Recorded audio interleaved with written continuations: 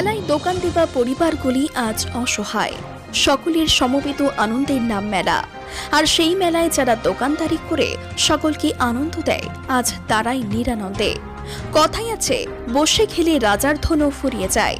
দীর্ঘ লকডাউনে সামান্য কিছু পুজে তাও ভেঙে খেয়ে ফেলেছেন মেলার দোকানদার দোকানিরা।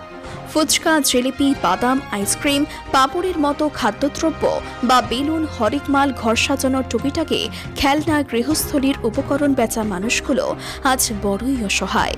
কিছু হবে না জেনেও ডিএম, এসডিও ও এমএলএ, পৌর প্রশাসক প্রত্যেকের কাছে লিখিত আকারে তাদের সহযোগিতার আবেদনপত্র জমা পড়েছে।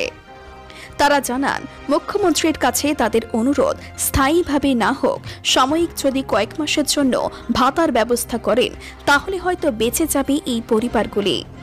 এখন কি চাইছেন আপনারা? এখন আমরা চাইছি দোকানদারদের হ্যাঁ। আর্থিক ঋণ আর্থিক সাহায্য। আর্থিক সহযোগিতা। তো কী কি জিনিস বিক্রি করেন মেলাতে? মনোহারি শাখা স্টিল কাপ প্লেট জিলিপি এগুলো কোনো নির্দিষ্ট দোকান নেই আপনাদের? মানে যে কোনো মেলায় গিয়ে বসেন বা রাস্তার ধারে ধারে এরকম জায়গায় বসে যান নাকি? তো সেক্ষেত্রে কোনো আইনি বাধা আছে কি এখন? এই যে শনিবার বৃহস্পতিবার বাদ দিয়ে আর বাদ বাকি দিনের তো অসুবিধা খুব একটা নেই।